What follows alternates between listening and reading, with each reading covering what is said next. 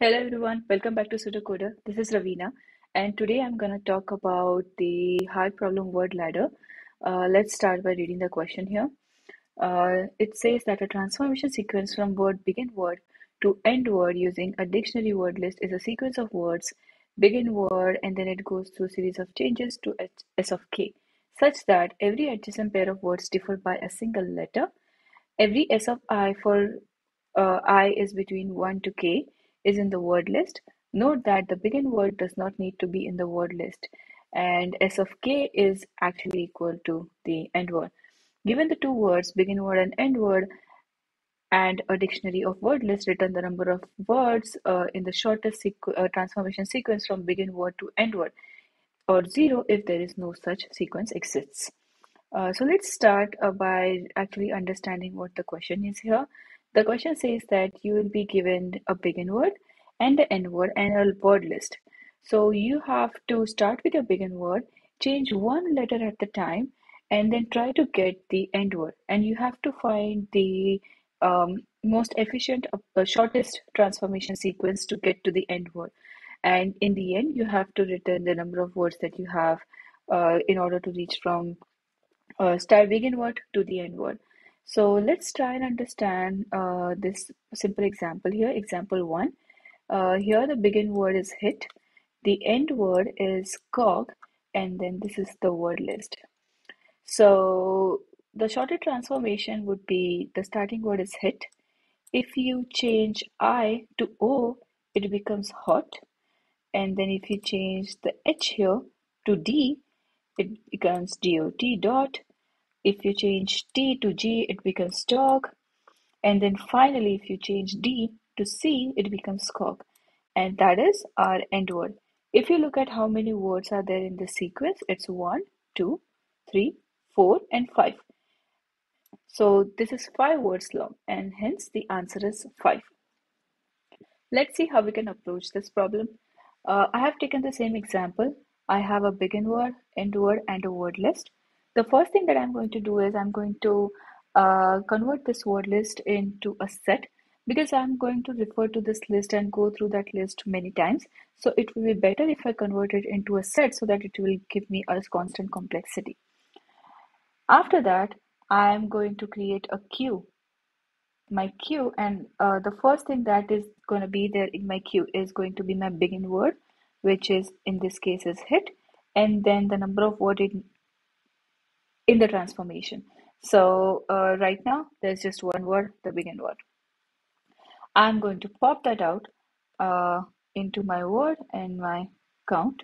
My count is one, my word is hit. Since I popped it out, it's going to get, it's going to disappear from my queue. Uh, now, when I get my word, I am going to check if this is my end word. Is hit my end word? No, it's not. Okay, so I'm gonna do my substitutions here. Uh, I uh, what I'm going to do is uh, I'm going to take for the first letter, which is H. I'm going to replace it with all the uh, letters, all the alphabets. So it's going to be, you know, A, B, C, D, E, F, G, all the way to Z. And I'm going to replace my head to H to A, B, C, D, E. And every time I do this replacement, I'm going to check, oh, this new word that I created, is it in my word list? If it is in my word list, then I'm going to create a new element, which is going to be my new word.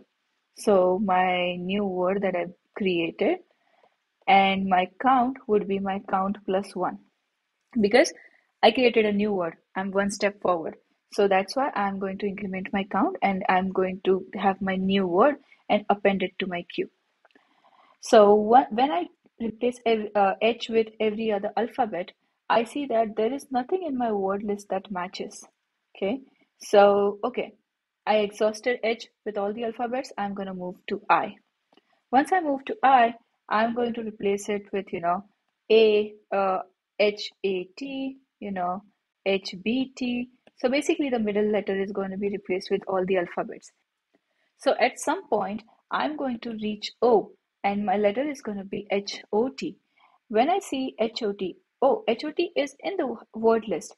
So I'm going to create a new element with HOT and then my count. My count is one. So plus one of my count, which is going to be two and append it to my queue.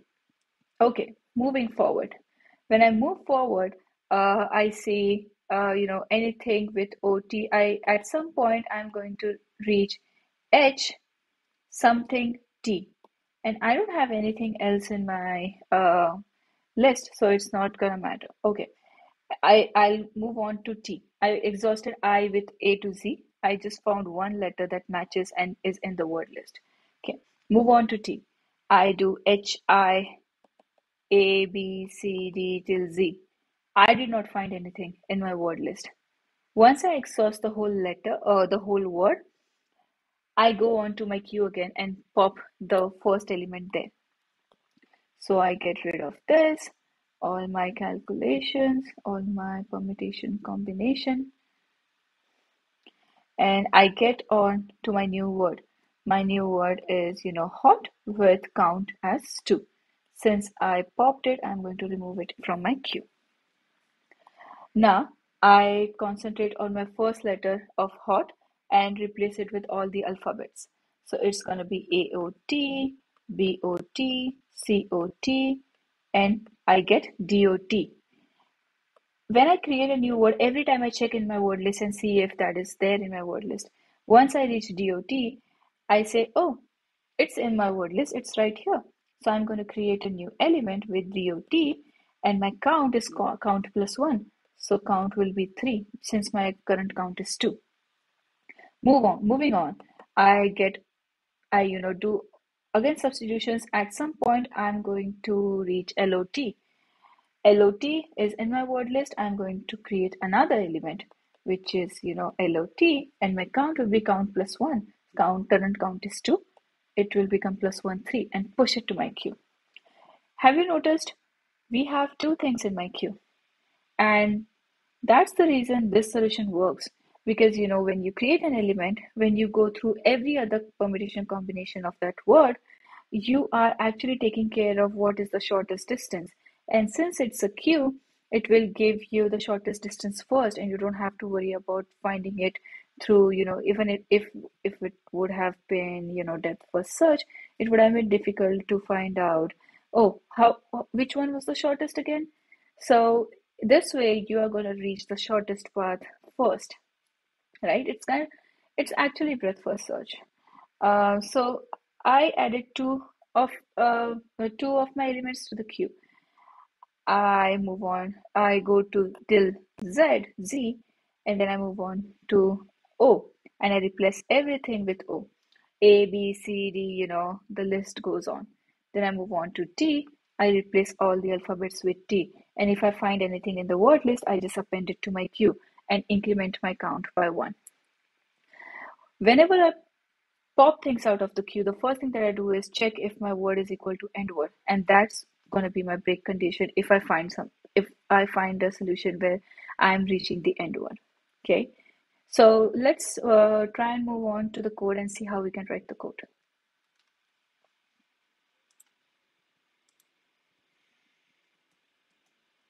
So the first thing that I have to do is create my word, uh, set, uh, convert my word list to a set.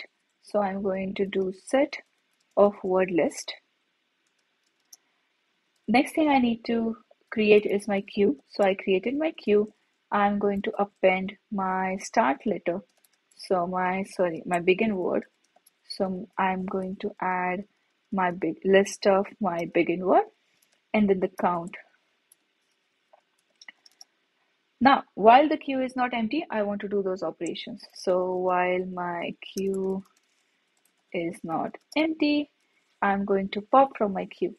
So my word and my count would be queue dot pop of 0 and once I get the word first thing check if my word is my end word so if my word is my end word then just return the count if that's not the case then I go and you know do, do the substitutions so for every i in range of my length of the current word. I'm going to uh, I'm going to substitute, you know, everything in A, B, C, D. So there is there are two ways of doing it. You can either do A, B, C, D, E, F, G, sorry, G, H, I, J, all the way to Z.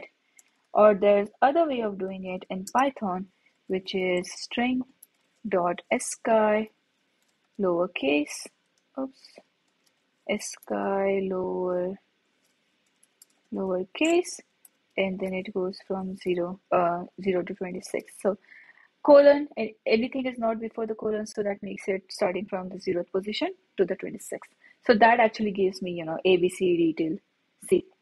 Okay so uh, next thing i'm going to do is create my next word my next word here very careful about this it should start with the starting point go to the i. So how do you read this in Python is, you know, this is the word, this is a string. There is nothing be before this colon. That means that you are starting all the way in the start. This i uh, is uh, basically the ith index that we are talking about, the one that we want to replace. Since in uh, Python, the i that we specify is excluded, it really means uh, from 0 to i minus 1. That is included. So 0 to i minus 1, that means my i is excluded. I want to replace that i with my character c and then I want to have the other part of the word. So my other part of the word would start with i plus 1 and then go till the end. So this is how you want to create your next word. The first thing that you create uh, when you uh, you do when you create the next word is check if that next word is in uh, my word list. So if next word is in the word list set. If it is there, then create append it to the queue, right? Uh, you do next word and then append the next word and then count plus one. Since you have moved one step forward, your count should always be one, uh, count plus one. Once you append it to the queue, there is one thing that you have to do. You have to remove that from the word list that particular next word from the word list because you don't want to encounter the same word again and again and get caught up in a loop and uh, we have to use the word just once so i'm going to remove it so word list dot remove i'm going to remove my next word once that's done if what if i don't find anything i exhausted my queue you know exhausted uh, the whole list, did every other combination permutation, I get nothing. In that case, I just simply return 0. Let's try and see if we can run this. Okay, submit it. Okay, so you see this uh, code is accepted by LeetCode. Um, so let's talk about the space and time complexity here. Uh, if you look at the time complexity, the time complexity is really, you know, at one point you are going through the begin word to end word, that whole journey and the, the whole word list, right? So that is going to be O of n. If you look at it, this particular thing for i in length of that word. So each word, we are going through every letter in each word and then replacing it with every alphabet, right? Uh, if you consider every word to be of L length, so that would be n into L. And you are replacing it with every alphabet. Alphabets are 26 alphabets, right? This particular for loop here. This is 26 alphabets. So it's going to be n into L into 26. Because you have n words in the word list. You are doing this for loop for uh, each word which is of L length and then you're replacing every character in it. So it's like, you know, inside loop. So it's uh, n into n into 26. The space complexity, however, is going to be n because your queue at a particular time might hold all the letters that are there in the word list. So that makes it, you know, O of n. I hope this uh, uh, this particular explanation was helpful. Uh, if you like my videos, uh, give it a thumbs up, comment below. That really helps my channel. This uh, code is going to be on GitHub. I'll include the link in the description below. Uh, I'm gonna make the same video in Hindi as well. So stay tuned for it. It should be released in three to four days. And I'm on Discord, so if you want to connect, you know, just talk or have any suggestions for the videos you would like me to concentrate on or any videos you would like me to create, you can connect with me on Discord and discuss them, or you can just leave a comment below. Uh, happy coding, and I will see you next time.